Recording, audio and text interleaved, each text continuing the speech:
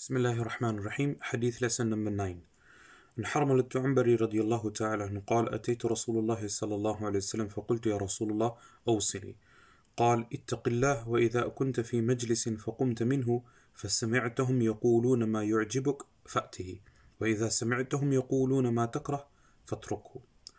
حرملة الأنبري رضي الله تعالى عنه narrates that I came to the messenger of Allah subhanahu wa ta'ala and I said, O messenger of Allah, advise me. Prophet alaihi replied, Fear Allah.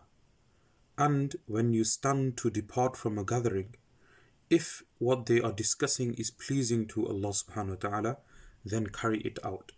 However, if what they discuss is detestable and disliked, then abandon it.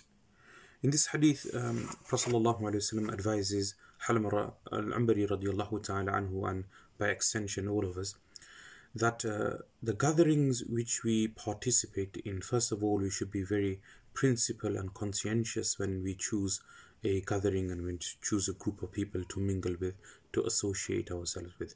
So, first, be very careful who you associate your, who you associate yourself with, um, because we know in from another hadith Rasulullah says that al mar'u ala dini khalilihi a person is on the faith and practice and religion uh, and the methodology of his friend i.e. Uh, our friends and our uh, social circle heavily influence us and so we know this from a number of hadith a hadith but in this hadith what Rasulullah says that when you're in a gathering and you stand from that gathering to depart now if what has been discussed is of goodness, righteousness, piety, good a'mal, then make an intention of practicing that good deed.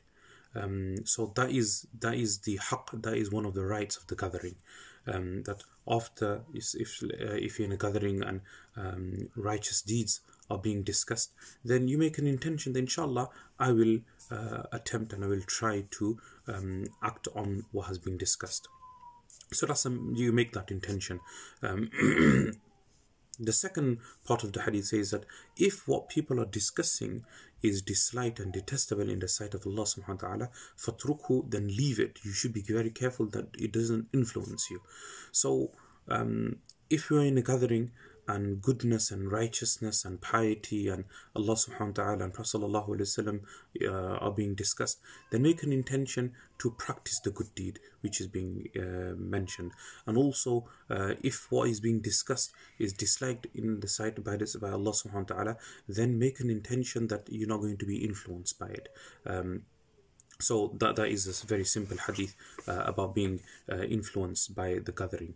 May Allah Azza wa Jal give me and you the tawfiq. Jazakallah.